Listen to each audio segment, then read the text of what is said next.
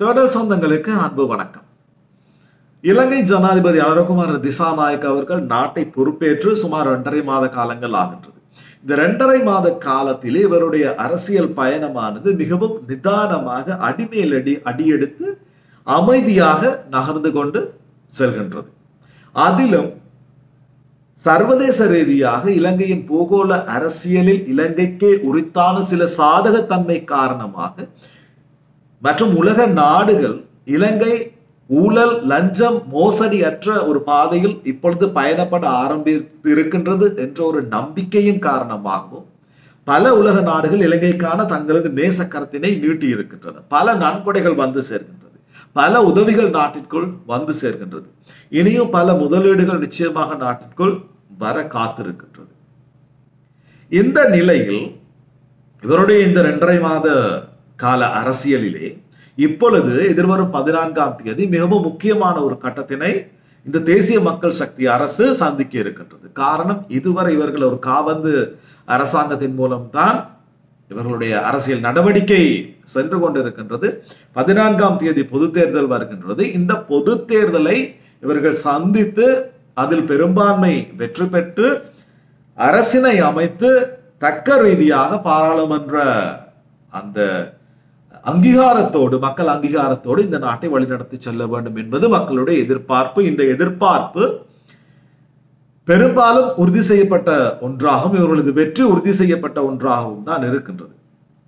காரணம் மக்கள் இவர்களுக்கான அவகாசத்தை வழங்கி இருக்கின்றார்கள் நீங்கள் பொறுமையாக உங்களுடைய காரியத்திலே நிதானமாக பயணித்து நாட்டை சரியான விடியலை நோக்கி கொண்டு செல்லுங்கள் என்ற அந்த கால அவகாசத்தை மக்கள் வழங்கி இருக்கின்றார்கள். ஏனென்றால் இவர் மீது மக்கள் உண்மையிலேயே நம்பிக்கை வைத்திருக்கின்றார்கள்.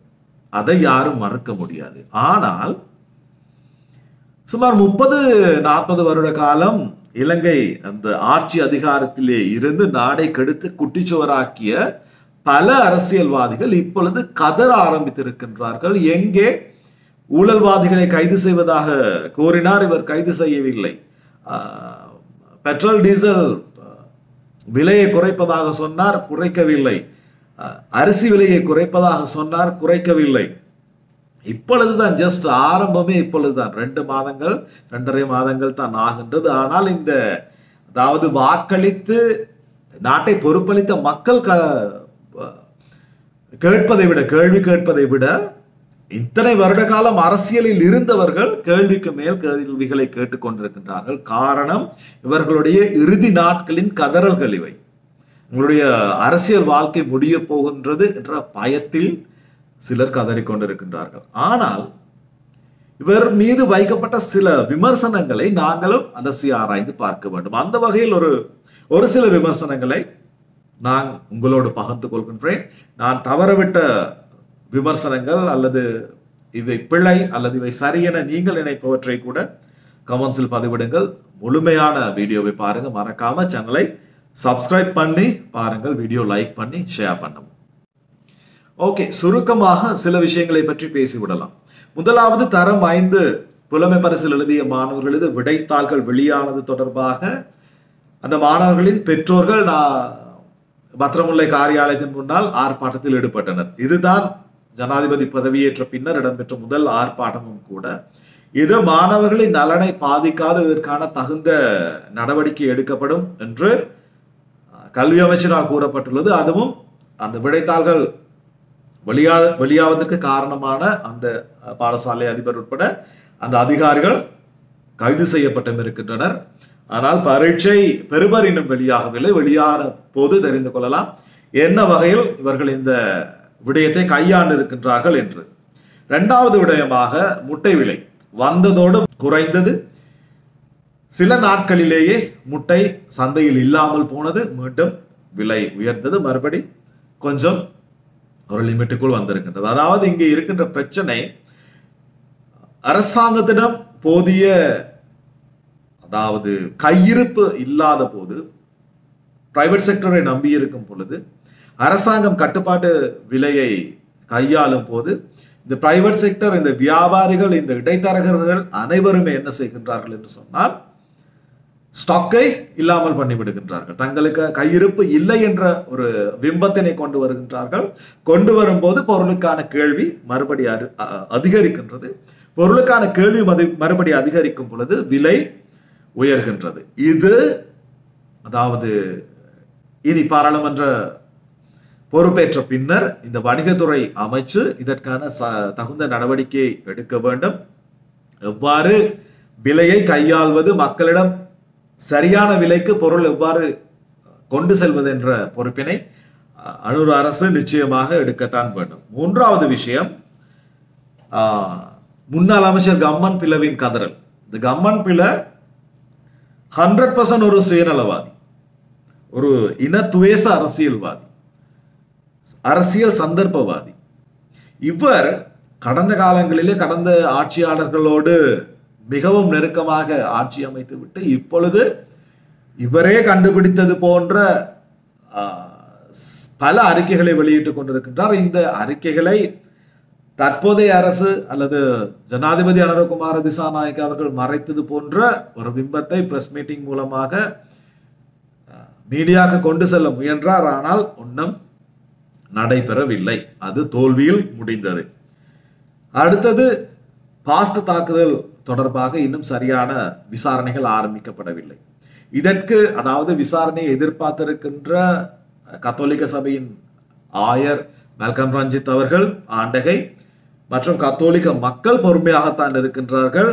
என்று இருந்தாலும் இதற்கு காரணமான அந்த உண்மையான குற்றவாளி யார் என்பதை மக்கள் அறிந்து கொள்ள வேண்டும் அதை அறிய தருவது அன்னொரு அரசின் பொறுப்பென்ற ஒரு நம்பிக்கையினையும் ஒரு விடயத்தினையும் ஆயர் கர்தினால் அவர்கள் அரசிடம் முன்வைத்திருக்கின்றார். மற்ற விஷயம் இந்த அரசியல்வாதிகள் அதிகமாக பேசுவது ஊழல் மோசடி அஹ், குற்றமிழைத்தவரை நாங்கள் கைது செய்வோம் என்ற பல காரசாரமான பேச்சு அரசியல் மேடையிலே அனுபவினால் பேசப்பட்டது. ஆனால் அதற்கான நடவடிக்கை எதுவுமே இதுவரை எடுக்கப்படவில்லை என்ற ஒரு விமர்சனம். நடவடிக்கைகள் எடுக்கப்படாமல் இல்லை.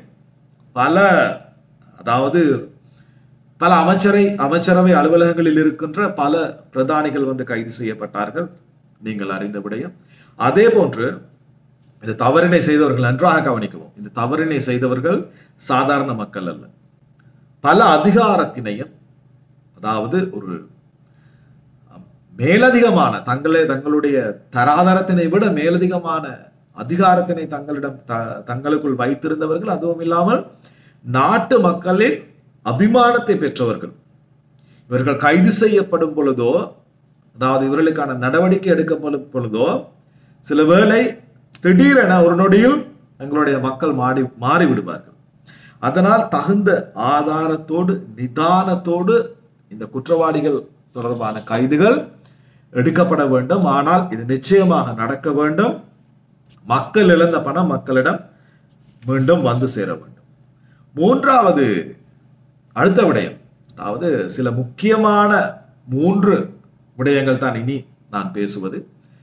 அண்மையில் சிரச டிவியில் இடம்பெற்ற சட்டன நிகழ்விலும் கூட ஜனாதிபதி அனுரகுமார திசாநாயக்க அவர்களிடம் இந்த மூன்று விடயம் குறித்து தான் வினவப்பட்டது. அதற்கு தகுந்த ஒரு பதிலை அவர் கூறியிருந்தார். முதலாவது அரிசி விலை. நாட்டரிசி இன்னுமே அதே விலையில் தான் இருக்கின்றது. கடந்த அரசாங்க அரசு காலத்தில் அரசாங்க காலத்தில் இடம் இருந்த நிலவி வந்த அதே விலை தான் இருக்கின்றது. அடுத்தது விலை குறைக்கப்பட்டாலும் கூட சந்தையில் அரிசிக்கான தட்டுப்பாடு நிலவுகின்றது அரிசியில். இதற்கு முதல் காரணம் அதாவது அஹ், நெல் கொள்வனவு சங்கத்தின் தலைவர் டட்லி சிறிசேன கூட கூடியிருந்தார். கடந்த கால பயிற்சிகையிலே பத்து வீதமானோர் தான் நாட்டரிசியை விதைத்திருக்கின்றார்கள். மீதி தொண்ணூறு வீதமானோர் கீரி சம்பாவினை தான் விதைத்திருக்கின்றார்கள். அதனால் நாட்டிலே சந்தையில் கீரி சம்பாவினது தட்டுப்பாடு இல்லை. கீரி சம்பா தாராளமாக இருக்கின்றது. நாட்டரிசி தான் இல்லாமல் போயிருக்கின்றது.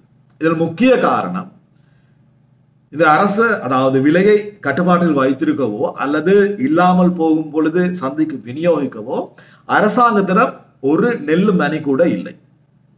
அதில் முக்கியமாக இந்த நெட் நெட் களஞ்சிய கூட்டுதாபனமானது இருபத்தெட்டு மில்லியன் ரூபாய் கடன் அல்லது நட்டத்திலே இருக்கின்றது.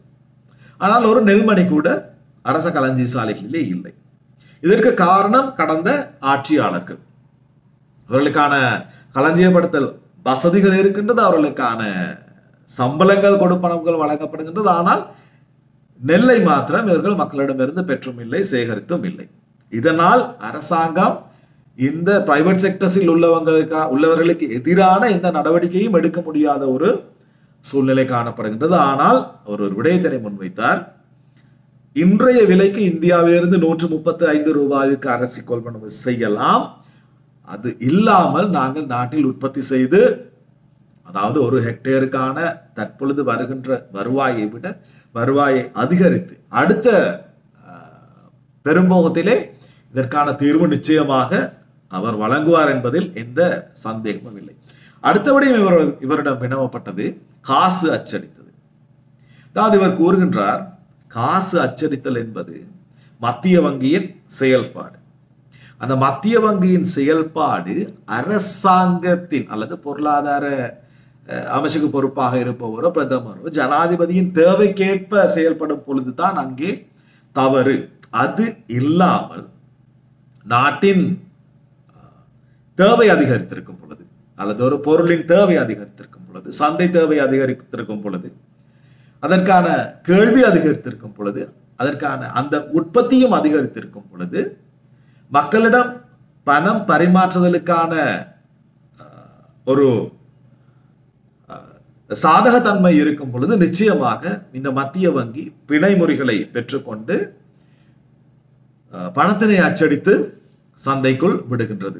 இந்த செயல் திட்டமானது ரொட்டேஷனில் போய் கொண்டிருக்க வேண்டும். அடுத்தது பிணைமுறைகள் முடிவடையும் பொழுது புதிதாக அந்த பிணைமுறை செலுத்தப்பட்டு புதிதாக பிணைமுறை பெறப்பட வேண்டும். இந்த ரொட்டேஷன் போய் கொண்டிருக்கும் பொழுதுதான் நாட்டின் பொருளாதார சுழற்சியானது நடந்து கொண்டிருக்கின்றது. இல்லை என்றால் பொருளாதார ஸ்தம்பிதம் ஏற்படும். நாட்டின் தேவைக்காக அல்ல ஜனாதிபதியின் தேவைக்காக காசு அச்சடித்தல் என்பது தற்பொழுது தடை செய்யப்பட்டிருக்கின்றது. முற்று முழுவதுமாக மத்திய வங்கிக்கு அந்த அதிகாரம் வழங்கப்பட்டிருக்கின்றது. எனவே இந்த ஒரு வருட காலத்திலே எவ்வளவு க- கடன் வரையறையோ அந்த வரையறைக்கேற்ப தேவைக்காகத்தான் கடன் பெறப்படுகின்றதோ அதாவது அரசு கடனை பெற்றுக்கொள்வதோ அல்லது மத்திய வங்கி பணம் அச்சடித்து சந்தைப்படுத்துவதோ சந்தைக்குள் புழக்கத்தில் விடுவதோ இந்த விஷயமானது நடைபெறுகின்றதென மிகவும் தெளிவாக கூறுகிறார் அடுத்த விடயம் இவரிடம் வினவப்பட்டது பாஸ்போர்ட். அதாவது இந்த பாஸ்போர்ட் பிரச்சனை பாஸ்போர்ட் போலின் பலரால் விமர்சிக்கப்படுகின்ற ஒரு விஷயம். பலரும்